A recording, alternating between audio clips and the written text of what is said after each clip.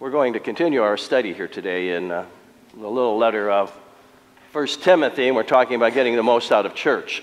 This is an unusual pas- passage because it's kind of like just a list. I mean, you can almost take it and put a check mark in front of everything as you go down. And uh, as he starts here, all right, I'm not, my clicker is not clicking. All right, as he starts in the very first, first verse, he says, If anyone desires the office, all right, here, it's clicking now. All right.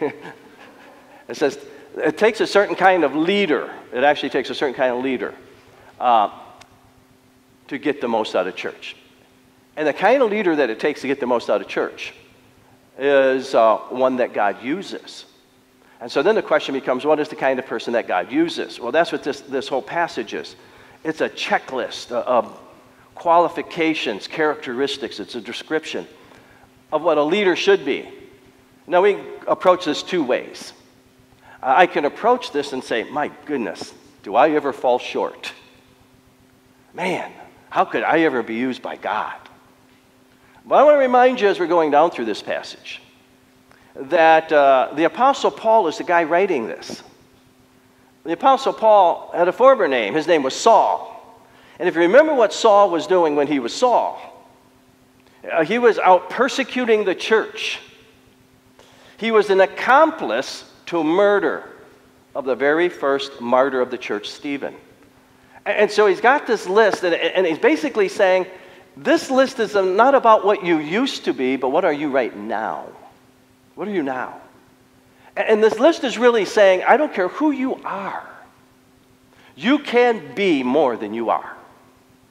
And so you can take this a pessimistic approach or you can take an optimistic approach. You, you could say, oh, yeah, it's just raining on me, man. God is making me feel uncomfortable here. I don't, I don't measure up on any of these.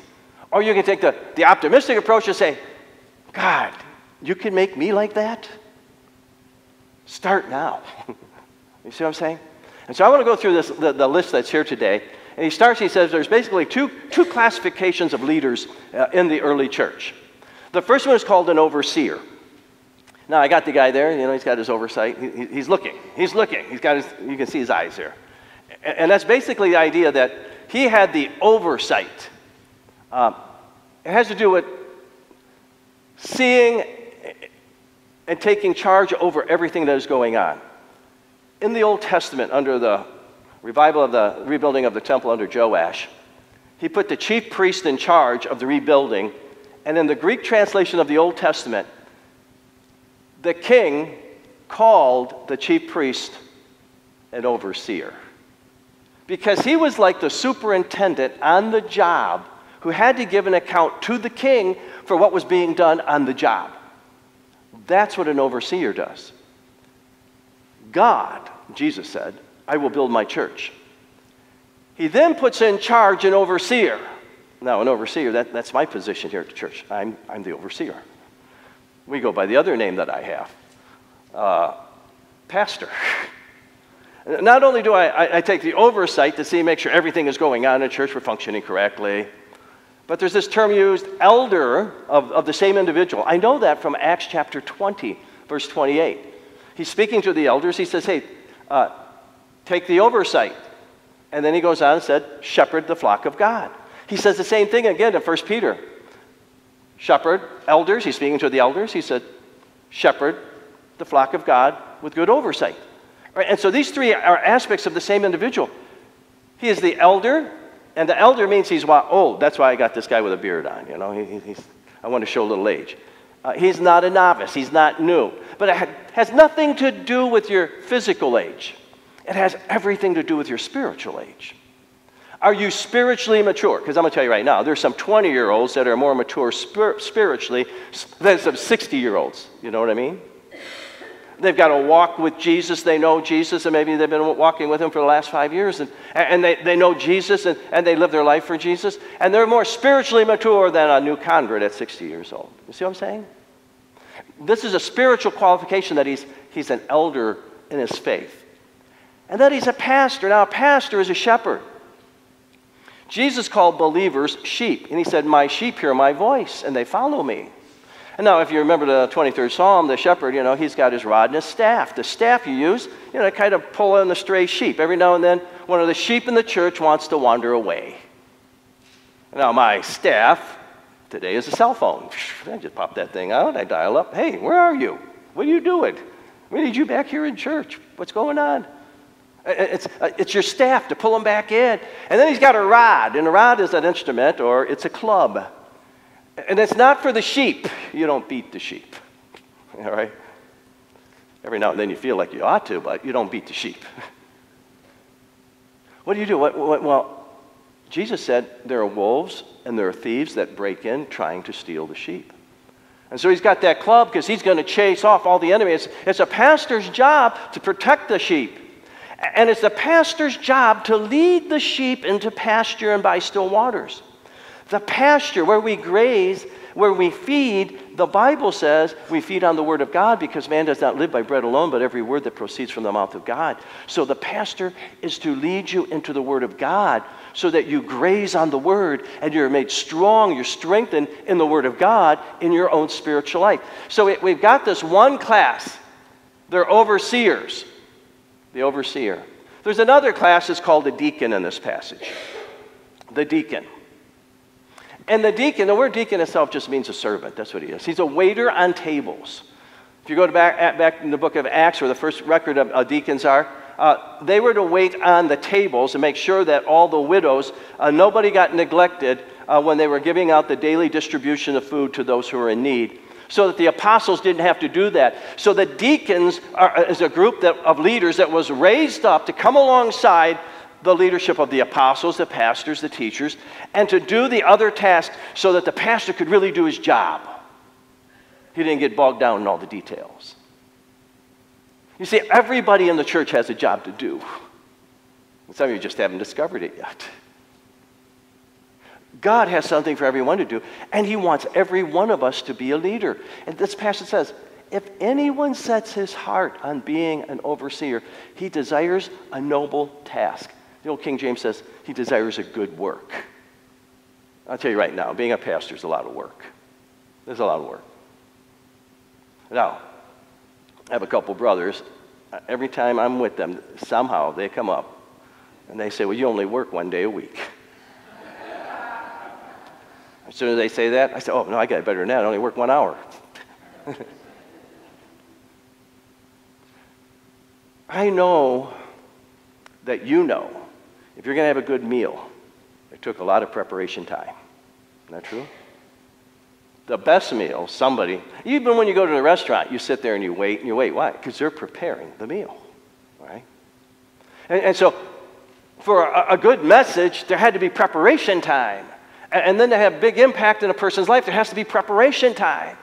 And uh, so I, I, I, tease you, I only work one day a week. I only work one hour, but I sure put in a lot of time in between and a lot of other areas. He says, listen, it's a noble, it's a good, it's a great work. And everyone, everyone should aspire to leadership where you can share the Word of God.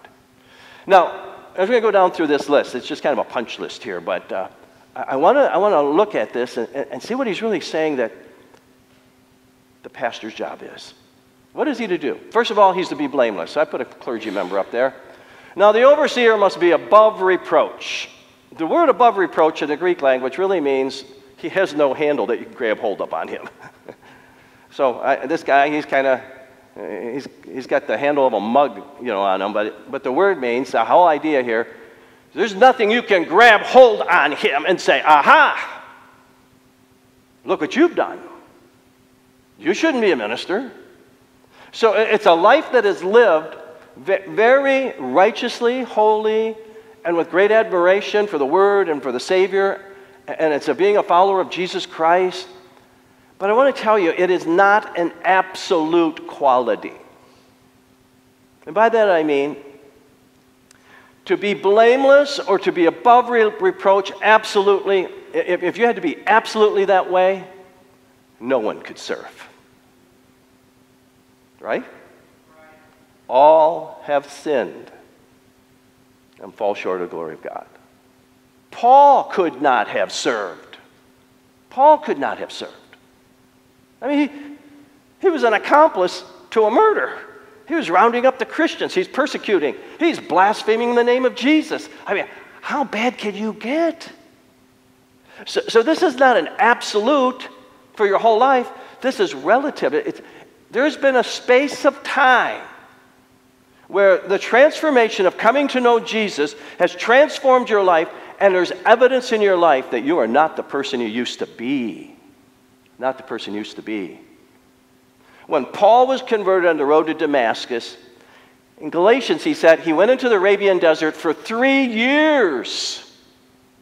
Then he came back to Damascus and he shared with the, the, the, apostles there what, what he had learned from Christ to see if his gospel and their gospel was the same and they were on the same page. And it wasn't until another 14 years until God called him to go on first missionary journey. He had a period of time to show that he was a changed man. God wants to change all our hearts, not just the leadership, everyone's life. He wants us to get to the point where we are blameless and we too are qualified, even if He never calls us to be the pastor. That we would have that life, that we are so walking with Jesus that people look at us and say, There is a, a person is beyond reproach. There's somebody that's like Jesus. Years ago, there was a funeral at our church when we were uh, pastoring up in White Lake, and um, there was a gentleman in the church. And somebody said, well, if you were to describe this man, what, what, what would be the, the description? More than one person said, he was like Jesus. Like Jesus. See, that's the whole point. Is that we're like Jesus. We hang out so much with Jesus, we're like him. We're above reproach. Now, the next one says he's a husband of one wife. He has an exclusive relationship with one person. Now, this, this little phrase has been translated various ways. Uh, some people say you can only have one life in your whole life. If you're not married, you can't be a minister. If you've been married and your wife dies, you can't be a minister. Uh, if, if you've, uh, you see what I'm saying? It's very strict. But the Greek Testament, and that's what the Bible was written in, the New Testament here was written in Greek, it literally says a one woman man. I can't get it word for word. That's it. One woman man. The word husband or wife's not even in there. One woman man. And the idea is this he is so focused just on that one woman that he has a relationship with. He's not out in adultery. He's not a fornicator. He's got, he's got his eyes focused just on one woman. He's not out chasing skirts. He's not living with somebody. He's got, he is fully devoted to just one woman. He's a one woman man. Now we're going to see in the next chapter, the flip of this is for a widow. And if she's to be placed on the church widow roll, she's supposed to be a one man woman. and so what I find here is in the relationship, if we're going to if we're going to have a good marriage, you have to be focused just on your spouse.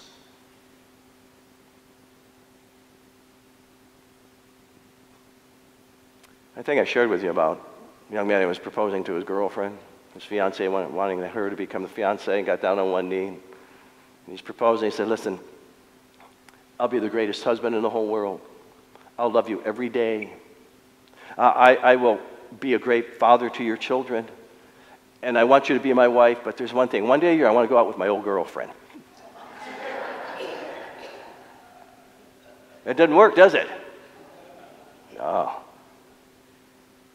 just one day of the year. No, it doesn't work. No. That's what this is about. He is not a womanizer. He's not a flirt. He's a one woman man. He's focused on the one that God has given him, and that's it. When he said for better or for worse, it doesn't matter how bad it is. It doesn't matter how bad she treat, treats him. He's a one woman man. That's what he is. You know, I think God wants that of every man. But to be a pastor, you, you've, that, you've got to be that way. The next one is temperate. Uh, I got here clear headed. It, it, means to not have your, your head filled with junk. You're not meandering through the internet and filling it with junk, crud. You, you, your mind is clear. You're, you're sober in your thinking. He says you're self controlled. I got this guy, he's got, a, he's got a switch on his head. He can turn it on and he can turn it off, okay? And you can turn it on, you can turn it off. He's got, he's got control when temptation comes, he turns it off. So now I'm not going there. You know, when an opportunity to do what is right, he turns it on. Yeah, I got to do that. He, he's control. He, he's in control of himself. He, and he knows how to take control of himself. When something is causing him to be angry, he flips the switch. Now, I'm not going there. I'm not going to get angry. I'm not going to let that person needle me. I'm not going to let them push my buttons. When there's something really worthy of being angry, because the Bible says, be angry and sin not, when an injustice is occurring, he turns it on. He gets angry like Jesus did and he clears the temple of making the Father's house a place of merchandise. You see, and then he turns it off. You know, he's got self control. He knows when it's appropriate to use his emotions and outbursts, and he knows when you're not supposed to. He's got self control. The next one here is respectable. In order to be respectable, you've got to have done the things that earn respect. That people respect this person because they are worthy of respect. I like the next one. The kind of leader that God uses is hospitable, which means he's approachable. Not only is he approachable, but he invites you over too. I, I see. I like this little picture I got up there. Here's some kid, you know, he, he's built a fort.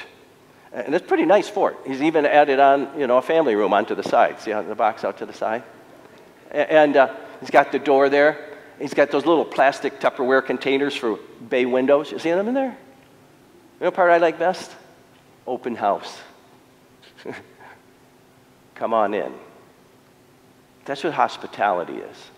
Hospitality is inviting people into your life, inviting people into your life, inviting them into your home, it's sharing a meal with them. It's seeing something that they need and, and you're sharing with them. In fact, it tells us, I believe, in the book of Hebrews, that some entertained angels unaware. They invited a guest in, and the Bible is saying, it, really, that was an angel. There was an angel that was, had visited them. And you go all the way back to the book of Genesis, you can see that with Abraham inviting the, the angels that came, and he provided a meal. He was hospitable to them. Hospitable. The leader, the kind of leader that God uses is a teacher. Now, I want you to notice something about this passage.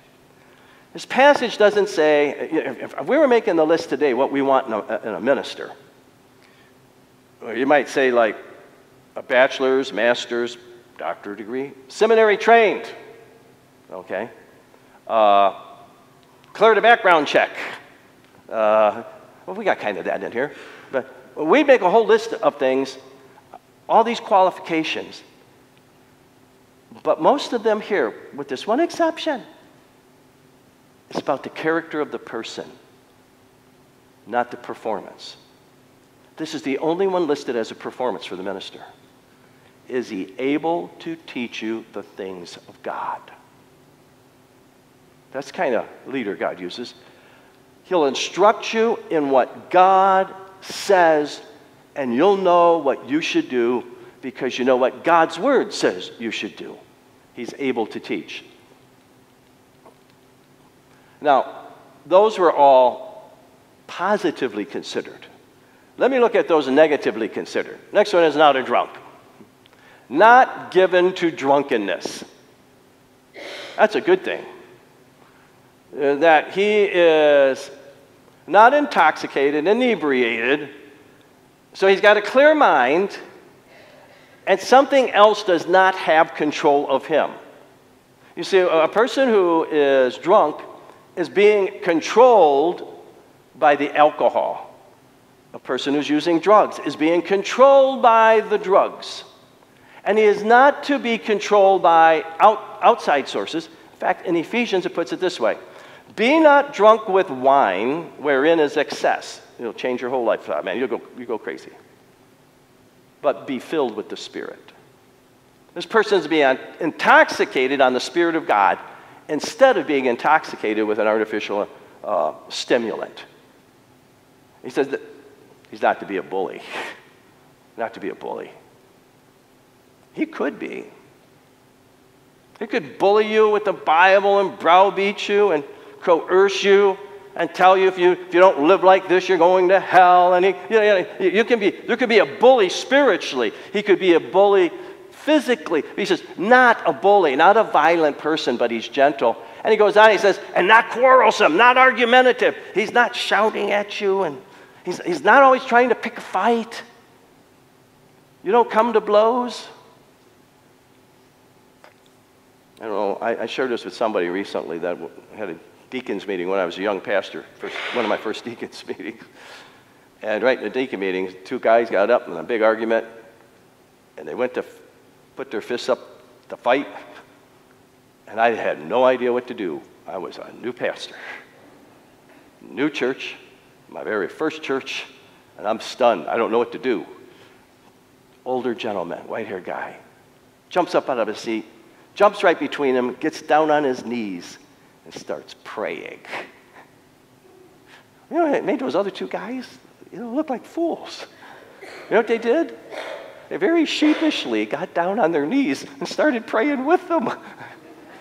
the fight turned into a prayer meeting. I said, man, I, I learned a great lesson there. Not quarrelsome. We, we are to be peacemakers. Peacemakers. He goes on, he says, not a lover of money. The Bible says the love of money is the root of all sorts of evil. It doesn't say money is, it says the love of money is it's, it's the starting point of all sorts of evil. A lot of ministers get themselves in big trouble because they have a love for money. Love for money. Most of us know going into the ministry, you don't get rich. Our churches tend to keep us humble. but every now and then, it's a charlatan who's out for the money. That's all about the money. He said, not that. He must be a manager. He must manage his own family well and see that his children obey with proper respect. If anyone does not know how to manage his own family, how can he take care of the church? Now, a manager, like middle management, you, you, you have the owner, you have the manager, and then you have the, what he's managing. And he says, listen, Jesus is the owner of the church. Jesus said, I will build my church. The pastor is the overseer, superintendent. He's just a middle management guy. The leadership's coming from Jesus. He's just he's following the directives and saying, "Yeah, let's let's make this happen," so that he manages the church. In the same way, he's got to take the Bible instructions and manage his own household so that his children, he says here, they obey and they give proper respect. Because if he can't do it at home, how can he do it in the church? You know, there are more qualifications here about his personal integrity than there are about what he can do. He's got to be a person of integrity. He's not to be a newbie. I got a newborn. Uh, one of the biggest problems in Christianity, as soon as somebody comes to know Jesus as Savior, if they're, you know, uh, a celebrity, they're a, an athlete or something, they stick a microphone in their face and, you know, as a champion for Christianity. Well, they're a newbie. They don't know anything yet. Give them some time to grow. It's not to be a recent convert. Leaders should not be recent converts. We should take them in, nurture them along, grow them into leadership. Otherwise, he'll become conceited, the text says. The next one says, a man with good reputation. Must also have a good reputation. The Good Samaritan had a good reputation. You know, people who don't even know the Bible know the story of the Good Samaritan, don't they? Because he has a good reputation. A good reputation. That's simply with, with outsiders. The pastor should have a good reputation with those people in the community so you will not fall into disgrace or the devil's trap. He turns at this point and says, I'm done, I'm done talking about what a pastor should be. Now I want to talk about the other leaders in the church, the, the deacons. And as he turns to the deacons, he says, Deacons likewise. What I've been saying about the pastor likewise, the same is true for the deacons. There's qualifications here. They're to be men worthy of respect. They've had to earn it. They are to be sincere. I got this guy, he's not sincere. You notice anything interesting about this guy? Yeah, the word literally, the word literally is double tongued. You know, he's got two tongues. So I put two mouths on there so you can see he's got two tongues. And the whole idea is he says one thing one place, and then he goes somewhere else and says something else the other way. And I know you're thinking, ah, politician.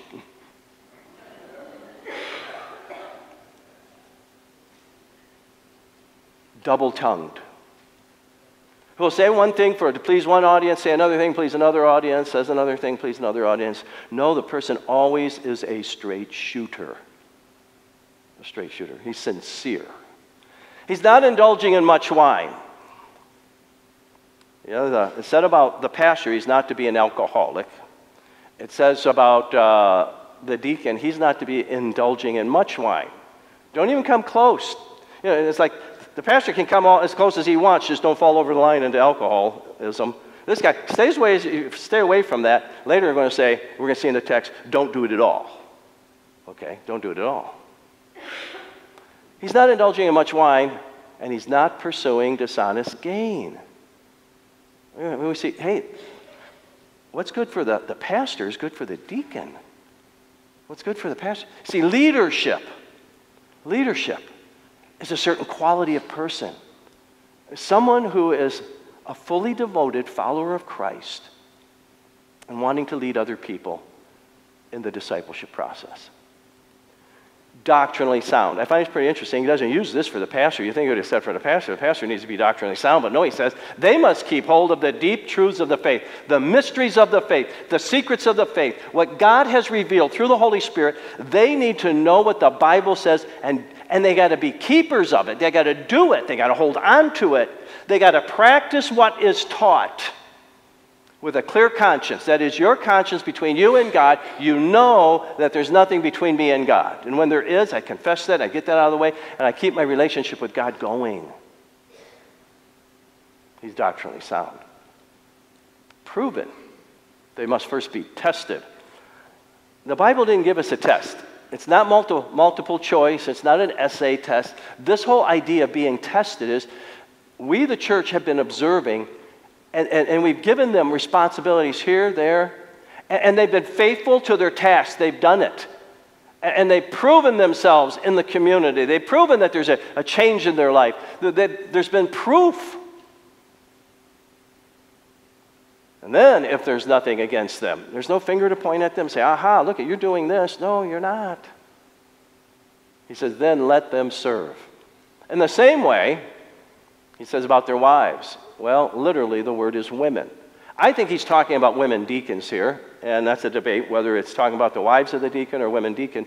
But I think he's saying the same thing to the, the, the, the women uh, who are serving as deacons, like Phoebe was in Romans chapter 16, verse 1. Phoebe is called a deacon and is put in the feminine so that it matches her name as a feminine. And so we know that she was a female deacon in the church at Rome. He says the women are to be worthy of respect, just like the pastor, just like the men deacons. Women deacons have to be respected. Next is very interesting malicious talkers. Uh, literally, uh, literally, the malicious talker is a slanderous person. Slanderous, like speaking like the devil. In the book of Revelation, we're told that the devil accuses the brothers, that's us, the brethren, before God. It's like in the book of Job, he goes into, into God's presence and said, Aha, uh-huh. hey, do you see Job? The only reason Job serves you is because you bless him so much. And God said, Well, do whatever, don't take his life. Man, all this stuff happens to him, you know. Why? He's accusing, he accused Job of only doing it for profit. He said, Don't be like the devil. Don't be a malicious talker. Don't be spreading malicious gossip.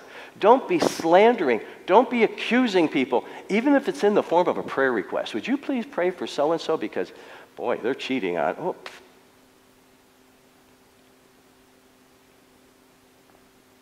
not diabolical, but temperate. The word temperate literally means abstaining from wine. Don't be an alcoholic, not much. Don't do it at all. Don't do it all. And trustworthy. Years ago, I built a treehouse for my kids. It was about 10 feet up in the, in the air. It was in a, a tree, and I put a porch on it, and you had to climb a nautical rope to get up, to get into it. It's kind of fun. And my son got up on there, and I said, Hey, jump, I'll catch you. He didn't hesitate, he jumped. Can you imagine what would happen if I went, boom, oh, I'll catch you on the first bounce? you know what would have happened? He would have never trusted me again. He had complete trust. He jumped out there. I, trustworthy. You're there. You, you say you're going to be here, you're there. You're going to be there when you say you're going to be there. You're going to do what you say you're going to do. You're reliable. You're trustworthy. So that when, uh, when they say, when you say jump, they jump because they know that they can trust you. You're trustworthy. He says, in everything. In everything. Let's get back to the men deacon. He's going to wrap this up in the passage here. He says in verse 12 The deacon must be the husband of one wife. He's a one woman man. What was good for the pastor is now good for the other leadership in the church, the deacons. They're to be focused on just their very own wife, no one else. He must manage his children well. Just like the pastor, a deacon's got to do his own children. They got to manage them. Middle management. The Lord gave us our children as a heritage of the Lord. Psalm 127. They're gifts from God. They're really His kids. I'm managing His kids. I'm managing His kids and the household. Finally, it's already been said twice the second time. Then they can serve. Those who have served well, you serve. Jesus told us that if you're going to be the greatest of all, you have to be the servant of all. You have to serve. Greatness comes not by rising, climbing the ladder, the corporate ladder. Greatness comes in descending down to serve those on the bottom. Those who serve well gain an excellent standing and great assurance in their faith in Christ Jesus. You see, when godly leaders lead the church, we'll get the most out of church. I think that's what this text is saying. And rather view this saying, man, I sure don't measure up to all that stuff, it's, oh, whoa, whoa, you got time. This last week, uh, somebody said, uh, I'm not perfect. And I said, oh, I'm not either, but give me a week. you know, I, I don't want to take the, the negative view, oh, I'm not perfect, so I'm not going to try at all. No, I'm still trying. I, I'm going to be all that I can be for Jesus. And that's, that's the whole thing here. You need to be all that you can be for Jesus. And you will rise through the ranks and you will become a leader that God uses in the church. Let's pray. Father in heaven, we know that this is your church, not ours. Jesus is the one who's building the church we're middle management or lower management. Lord, we're, we're just doing our little part. And we want to be the kind of leader that's spoken of here that you will use and bless this church. Lord, that do you'll so work in this church to be a place of love and acceptance, of mercy and grace, and that people will find this as a sanctuary, and then they'll share it with others, and those others will come in and they'll say, This is the place I want to be. They connect with God, they love God, and they live it. These people are like Jesus.